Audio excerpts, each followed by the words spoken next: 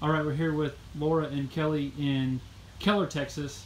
We just painted the interior of their house. They just bought a brand new house. It's beautiful. We got an awesome backyard. I have a couple questions for you guys. Great. How'd you hear about Alliance Painting?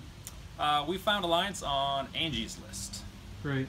Did we do everything we say we are going to do? Absolutely. and more. Actually, we had an expedited schedule to get the paint done, and they actually moved up an entire week and worked round the clock to get it done. So it was fast, a- absolutely amazing. Great, Yep. thank you. And on a scale from 1 to 10, how likely would you be to refer us to friends and family? 10. Eleven. 11! Awesome! Yeah. Thanks, guys. Thank you.